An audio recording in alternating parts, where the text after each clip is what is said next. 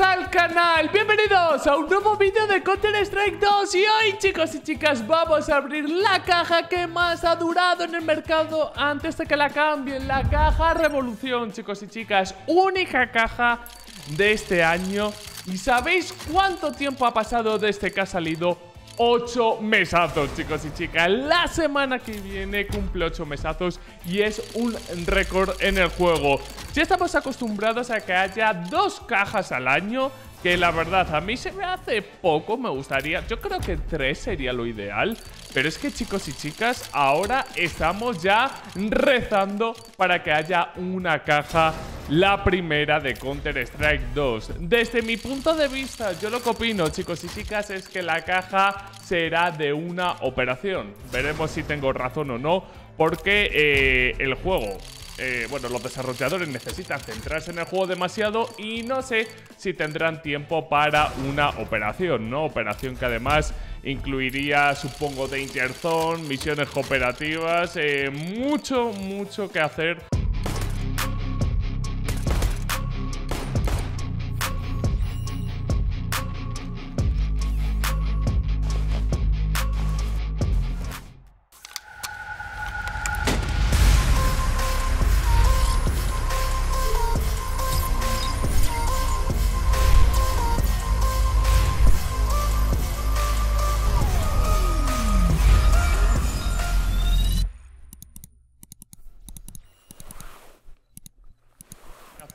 Le queda yo creo a Valve antes de que llegue una operación tal como está el juego. Y nada, he estado cotilleando chicos y chicas el tema de las cajas, el tema de los lanzamientos y sabéis que al principio lanzaban cajas pero era una auténtica barbaridad. Eh, yo he visto cajas que salía un mes tras otro. Y tú decías, pero, pero tío, si es que no me ha dado tiempo ni de disfrutar de las skins y ya pretendes que compre otras.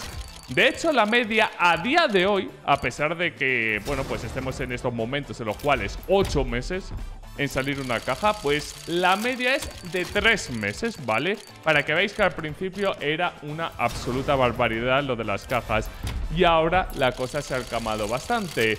Esperemos, como digo, que la nueva caja esté bastante guay. Yo estoy abriendo aparte esta caja Revolución porque me gustaría sacar los primeros guantes, por favor. Vamos a ver si tenemos suerte.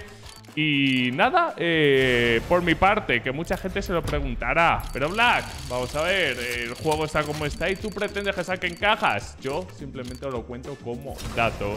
Eh, prefiero mil veces que se centren en el juego y ya que saquen una caja. Suponiendo que, bueno, no, suponiendo no, en marzo es el Major, el juego espero que esté arreglado, que por cierto, se están descubriendo cada vez más fallos, ahora os voy a hablar de uno, yo espero de corazón que para noviembre, finales, diciembre tengamos una caja, ¿no? La primera caja de Counter Strike 2 sería idílico. ¿Y a qué me refería con el tema de los errores, chicos y chicas? Pues se ha descubierto, ¿recordáis que subí un vídeo de profesionales racionando a bugs y vimos que había mucho fallo con el AVP, ¿no? Pues se ha descubierto, chicos y chicas, que en Counter 2, si te disparan y tú tienes AVP, cuando vas a realizar el disparo, si recibes daño, la mira no es 100% precisa. Eso es una absoluta barbaridad, chicos y chicas. En CSGO funcionaba de que te podían cagar a tiros, que tú le disparabas e iba totalmente precisa la bala. Espero de corazón que esto lo arreglen en los parches de esta semana. Normalmente Valve cuando ve estas cosas suele eh, estar rápidos, ¿no? Y yo espero de corazón que lo estén porque chicos y chicas, eh, mamma mía. De hecho, lo que me ha sorprendido es que últimamente Valve también está saliendo mucho a hablar. Salió uno de los desarrolladores de Counter-Strike 2 hablando del tema, hablando del subtier rate, que saben que es una cosa que está afectando muchísimo a los jugadores y que se están enfocando en eso. Por ello, eh, que el tema de la caja, la operación, no sea algo que tenga que venir inminentemente. De hecho, eh, hay un montonazo de cosas que, como sabéis, no están. Por ejemplo, muchos mapas de 2 vs 2 no están. Me parece que el modo demo, eh, según he estado leyendo, hay días que ni va. Eh, ¿Qué más cosas? El Danger Zone tampoco está. Como que Counter 2 es un CSGO incompleto. Necesitan dedicarle mucha, mucha, mucha, mucha tralla. Por lo tanto, primero que arreglen el juego y una vez arreglado el juego, que vayan introduciendo cosas poquito a poquito. Espero que con el nuevo motor gráfico que con Source 2 no pase lo que pasaba en CSGO. No sé si jugabais hace muchísimos años a CSGO, pero cada vez que Valve actualizaba el juego, se lo cargaban. Era una auténtica barbaridad. Supuestamente era porque el código era muy antiguo y tú, bueno, y los programadores pues estaban jodidos, pero ahora con Source 2 no debería pasar, cosa que por favor esperemos que sea así. En fin, ah, hablando de eh, mis aperturas de cajas de momento, hemos sacado dos dorados, unas Shadow Daggers, eh, Gamma Doppler y un eh, Good Knife. O sea, la cosa de momento en cuanto a dorados no va muy allá. Espero que eh, pronto me toquen unos guantes para celebrar los primeros. Me gustaría unos Vice. Aquí te pueden tocar unos Vice. Unos Vice serían idílicos. Me encantan. Bueno, mm, creo que no está en muy buen estado, pero es una roja en Minimal Wear. Joder, pensaba que estaba bastante peor. Vamos a ver lo que cuesta. Esta caja 95 euros, ni tan mal, perfecto. Esta caja cuesta euro y medio, por lo tanto me he gastado 50, algo más de 50, 60 euros en cajas, ¿vale? Un euro 20 quería decir. 60 euros en cajas más 120, unos 180 euros, por lo tanto ya hemos recuperado la mitad. Bueno, mejor eso que nada, chicos y chicas. Ya hemos sacado una roja, se celebra, se valora y encima la Tebukau, que como sabéis es el arma de los otakus. Vamos al lío, chavales, ya nos quedan poquitas cajas, nos quedan unas 12 cajas.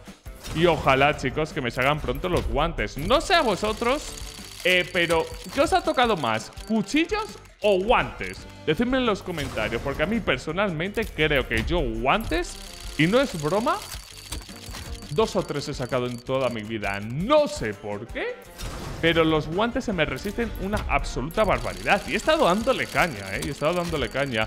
De hecho, la siguiente apertura que sea de guantes seguramente sea, chicos y chicas, de las cajas eh, Globes, que como sabéis están los Pandora, que son los guantes más caros de este videojuego. Cerca, si no me equivoco, de pues entre 16.000 y 20.000 dólares, si no me equivoco. Es que ahora han bajado bastante los precios. No sé si visteis el vídeo de la semana pasada que lo comentaba.